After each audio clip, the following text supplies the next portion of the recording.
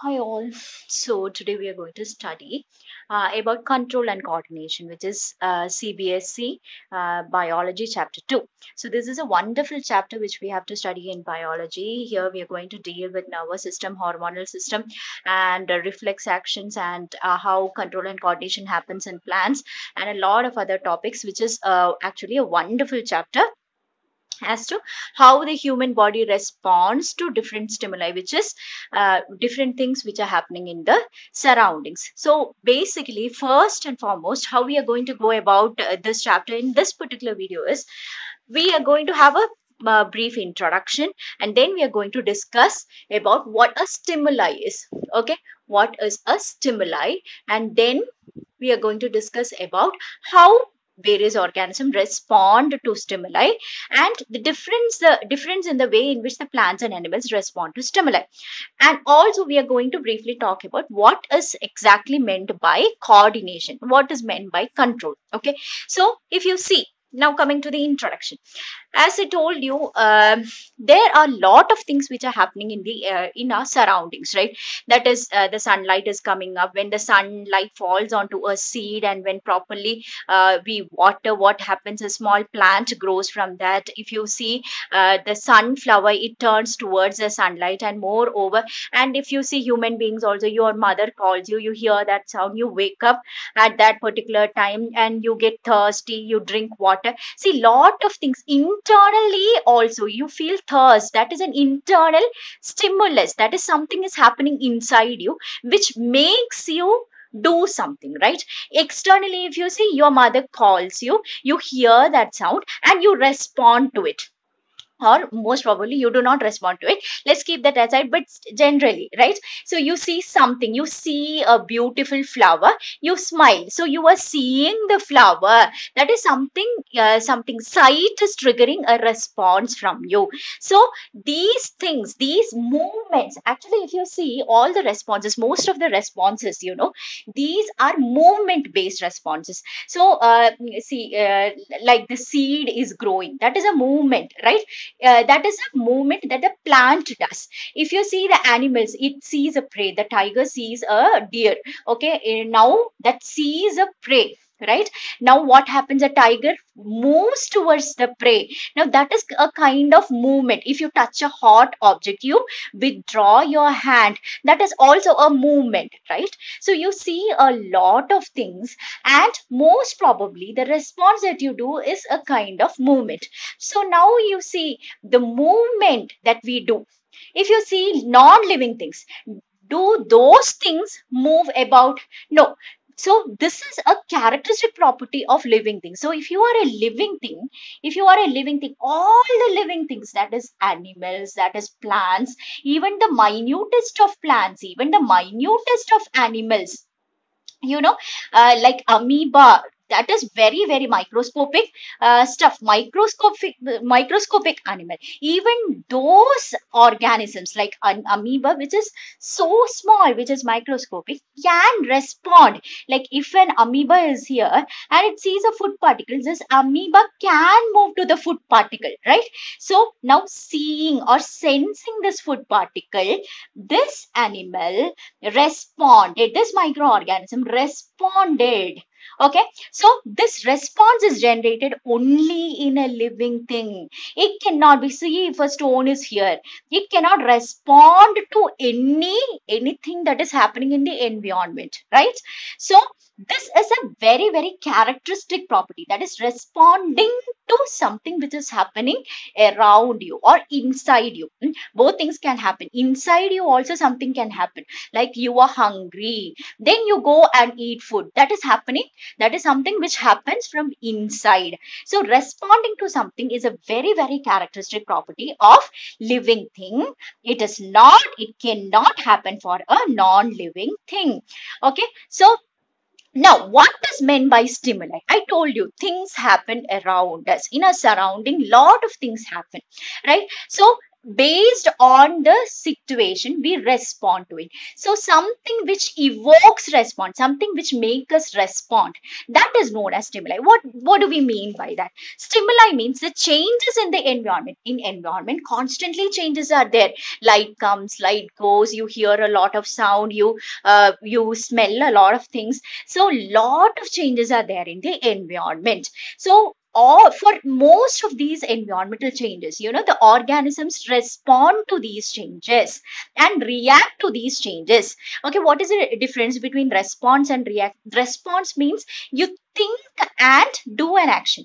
Reaction means spontaneously you are reacting to the situation without thinking hmm, on an impulse you might be doing it. So there will be lot of changes in the environment to which organisms respond or react these changes are called stimuli. Okay so uh, what are the changes? So in in you know basically we can say that the uh, stimuli can be heat. Okay you are uh, touching a very hot object. Then you take back your hand you are smelling something. You are smelling a wonderful biryani. So that is a stimulus which makes us makes our uh, you know mouth water. Now you are hearing a sound. You are hearing the sound of an ice cream truck. Now also you want to go there and excitement is generated. Now you are touching a beautiful flower. Touch is there pressure is there. Pressure means you are pressing pressing onto your hands. That pressure is generated. All these things can be said to be stimuli. Okay? So light coming all these things can be bro you know basically said to be as generating stimuli. The stimuli is of basically heat smell, sound, touch, pressure, taste, all these things are stimuli. Stimuli can be external stimuli as well as internal stimuli. External stimuli means heat if it comes from outside, smell which is coming from outside, sound which is coming from outside. All these things are generated externally. Internal stimuli means feeling of hunger, feeling of thirst, feeling of anger. You know, when we are angry or when we are afraid, a lot of hormones are getting generated inside our body so hormones means uh, if we are generating a hormones means what was the stimuli for that? Why did we generate a lot of hormones? Because inside what happened a stimuli of tension or stimuli of fear was generated and emotion was generated. That is a stimuli which happened inside. So those stimuli which are generated inside our body are known as internal stimulus and those stimuli which are generated outside our body are known as external stimulus. Now, how do organisms respond to stimuli? So, generally organisms, what do they do? They create some form, some kind of movement of a body part or an entire body for that matter. So what, what do we mean by that? If a man touches a hot utensil or a hot object, what does he does? What does he do? He runs away? No, he doesn't run away. He doesn't move his entire body in most cases. In most cases, what does he do? He simply withdraws his hand. But then if a tiger sees a uh, rabbit, what, what does he do? He runs behind the rabbit. So generally some kind of movement is created. Uh, for that matter, when we a bright light. Hmm? When we go from a dark room to a bright light, we close our eyes reflexively. Why, why do we close our eyes? Because when bright light is created when when we are exposed to bright light what happens our eyes cannot cannot take in that much of light in that uh, in one stretch. So what do we do? In order to protect our eyes our body reflexively mm, without our knowledge itself our body reflexively what does it do? Our body closes our eyes. So this is a response to a stimulus. Closing of our eye is a response to a stimulus which is bright light ex getting exposed to bright light. Okay? So when we see a dog we run. So seeing the dog is a stimulus and running is a response which is generated. Okay?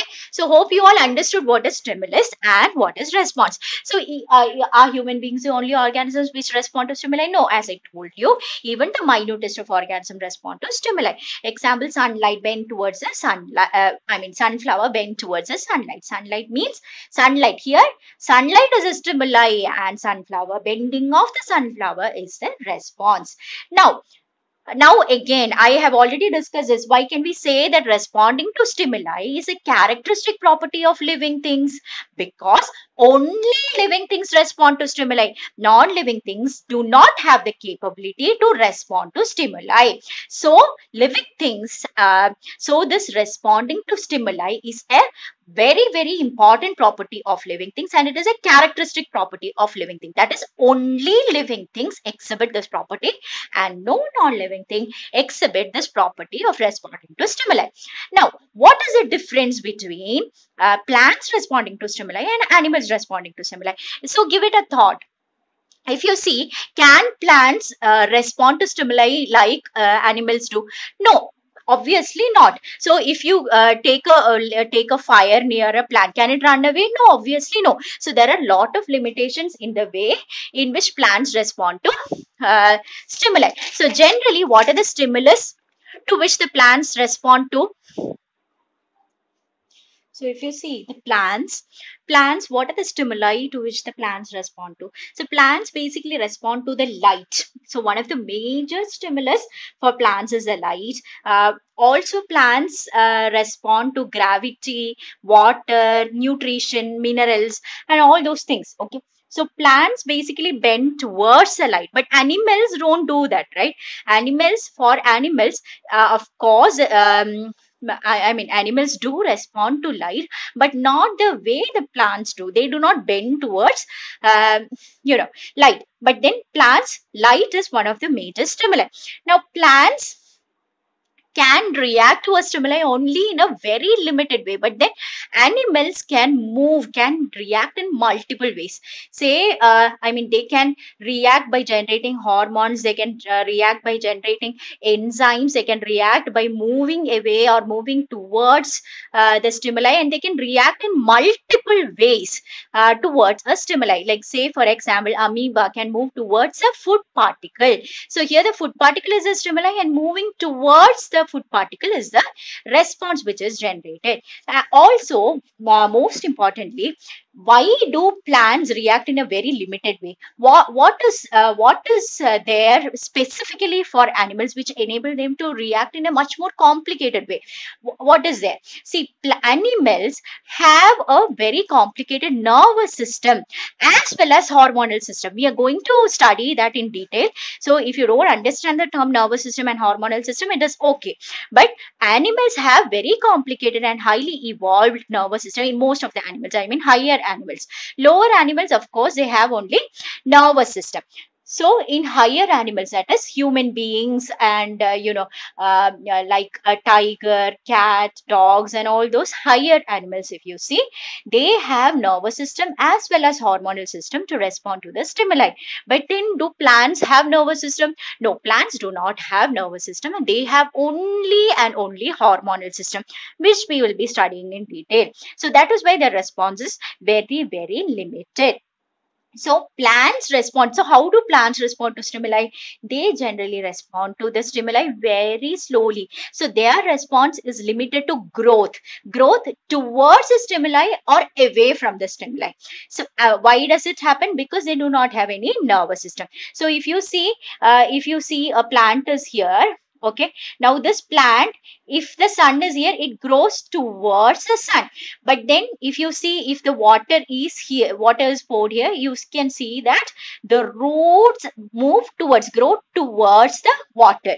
Okay. So all these things are i mean the plants can respond only in two uh, only by using their growth. That is they can grow towards the stimuli or they can grow away from the stimuli. Okay. So what about plants like touch me not. If you touch that all the leaves close no? That also is based on hormones. Okay we are going to study about the touch me not uh, plants response as well. We are going to see that later but that is not in that is not because of the nervous system. Because plants only have hormones okay? Uh, but then animals have hormones uh, as well as nervous system. So the system in which the hormones are produced and the, how the hormones work, those together are known as endocrine system. So it is the endocrine system which generates all the hormones in the body. So uh, basically animals have nervous system as well as hormonal system. Hormonal system, in other words, we say that to be endocrine system. They respond to the stimuli. Now, uh, coming to the last topic, uh, which uh, I have told you. So what is meant by, so these are the ways in which the uh, plants and animals differ in the way they respond to the stimuli. Now what is meant by, we, we saw that we are responding in multiple ways, in different ways, right? So is it totally uncoordinated? Like uh, do we respond the way, I mean simply in any way? No, right? So when your teacher asks you, see, when your teacher asks you, um, uh, hey Ramu, how are you? Hmm? You respond in a way. When your friend asks you, hey, uh, hey buddy, how are you? Okay, you respond in a different way. That is the response which you give to a teacher is in one way. Response you give response you give to your friend is in a different way. That is you are in total control of the response. So how can you control the response? That is you have to think you have to process your previous experiences. Uh, say if you smell biryani you would have already uh, you know eaten biryani in some restaurant so you would know the taste. So that is how uh, you would have liked that biryani and you know that this biryani is going to taste good. So you will process a lot of information in a controlled way. You are going to react to that situation. So for that you might have to think a lot of hormones and enzymes have to be generated. You might have to do a lot of movements. All these have to be uh, have to be coordinated. Say there is a laddu in front of you. You are going to eat it. Your brain has to tell you uh, that first and foremost you see this laddu right? You see this laddu your eyes is going to tell your brain that see there is something in front of you. The brain will process that it is a laddu and will remember all the instances that if you uh, are you a diabetic patient uh, do you like sugar and all those uh, uh you know information the brain will process and the brain will tell your salivary glands to produce saliva. Uh, your mouth will start watering and message will be sent to your hands at the same time and the hands will take up that laddu and you are going to take that laddu. You are going to move all the muscles and take that laddu to your mouth and your teeth will start all its work and all other things. All these things have to happen in a coordinated way. What if your uh, hand doesn't obey you right? It goes instead of to laddu it goes to the frying pan. What happens? So even even when you are asking your hand that is your brain is asking your uh, hand to go to laddu it goes to frying pan. What happens then? So it has to happen in a very coordinated way. So the working together of all the organs in a systematic manner is called coordination Okay, this is very important to produce a suitable response to the stimuli. That is why, you know, producing response requires the working of a lot of organs in a very, very coordinated way. So, we are done with the first video. In the second video, we are going to study about the nervous system, which is a super topic.